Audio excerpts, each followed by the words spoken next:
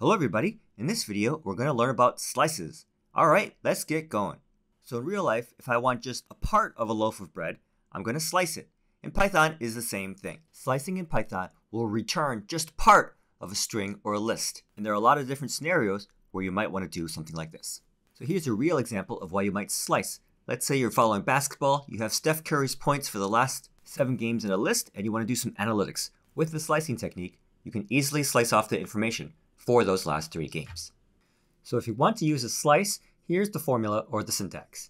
So we have the list, then square brackets. Inside those brackets be the start index, so it's what number you want to start with, and it's going to be inclusive, so that number will be included with a colon, and then the end index, which is an integer, and it's the number that you're going to stop right before, so it's exclusive. It's not going to count that one.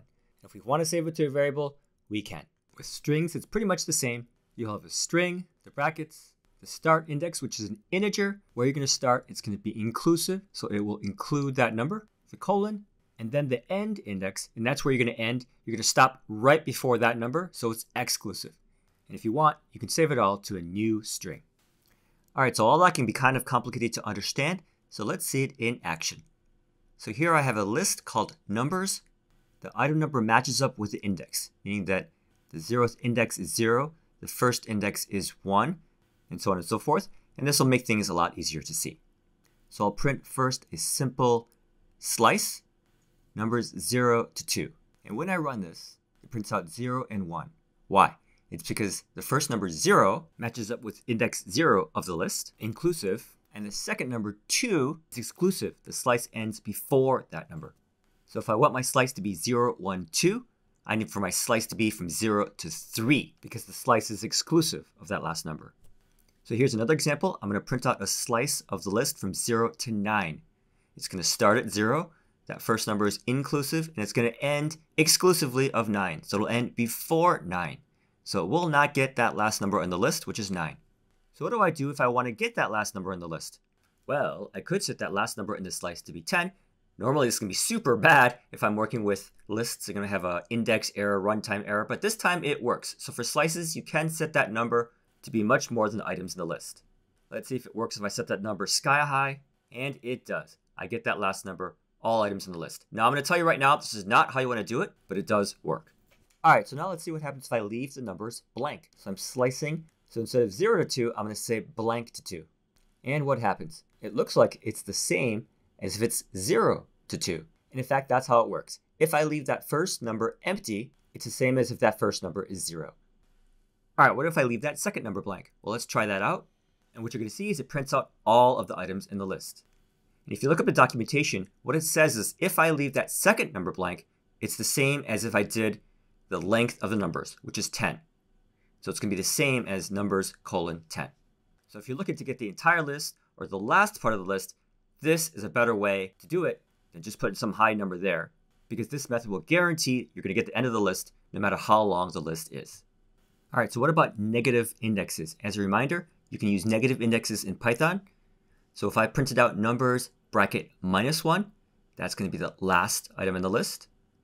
And if I print out numbers bracket negative two, that's going to be the second to last item in the list. And this is something I might want to do. Let's say again, as the example, I want to get Steph Curry's point total for the last three games. But when I try it right here, it doesn't work. Why? Because minus three is inclusive, so it includes that number, but minus 1 is exclusive and it does not include that number. It stops right before it. It might be helpful to look at the positive number equivalence. Minus 3 is equal to 7, so it includes 7. But minus 1 is exclusive, meaning it does not include the ninth one. It stops before that one. So it only gives me 7 and 8, and that's not what I want. So to fix this problem, once again, I'll use the blank second number. Numbers minus 3 colon blank will give me the last three items of the list. Numbers 7 colon blank would also give me the last three items of the list, but it would start to fail if my items didn't have exactly 10 numbers. So it's what we call a static solution. It's not going to work when the problem is dynamic or changing. So if you really want the last three letters of a list, you'll want to use a negative index. Again, I, this is sort of a long way to say this whole thing, but if you really want the last few items of a list, use negative numbers. All right, so you can do this exact same thing with strings. Slices also work with strings. I'm going to make a string here with letters between A and P. And since you've seen it already, I'm going to fast forward to the typing. All right, so the first one gives me a slice between the index 0, inclusive, and index 2, exclusive. So it excludes the C, which is index 2. The second one, we're following the rule. If the first number is blank, that means it's 0. So it's the same thing. If for some reason I wanted to include the C, I need to go from 0 to 3. 13 to 0 starts from the 13th index, which is n. Word bracket 13 colon blank gives me from index 13, which is n. When the second number is blank, it's the same as if it's the second number is length of the word. So 13 colon blank takes me from index 13, which is n, to the end. Finally, if you want the last number of characters in a string, use a negative index. All right, so common mistakes. For the most part, students can see the mistakes when they do this. The problem comes when they can't see the mistakes they're making, and I'll show you right now. So I have a name of Christina, and a nickname, I'll make it name, a slice of the name. So I'll make it from 0 to 4. And, you know, print out, yeah, your name is Chris, if that's your nickname. So we'll try this out, and it doesn't work. And I think it's supposed to work, and it doesn't work. So this is a really, really common thing I see. People do slices, they don't work as they expect, and they don't do anything about it. And that's a mistake. So all the time this happens, uh, what you should do is you should print out what's going on. You can't see what's going on in your code right now, and you should do prints to see what's going on in your code. This concept applies everywhere in computer science. If you can't see what's going on, use a print to see what's going on. So I'll print out the nickname now. And when I run it, I see, oh, oops, it's really obvious now.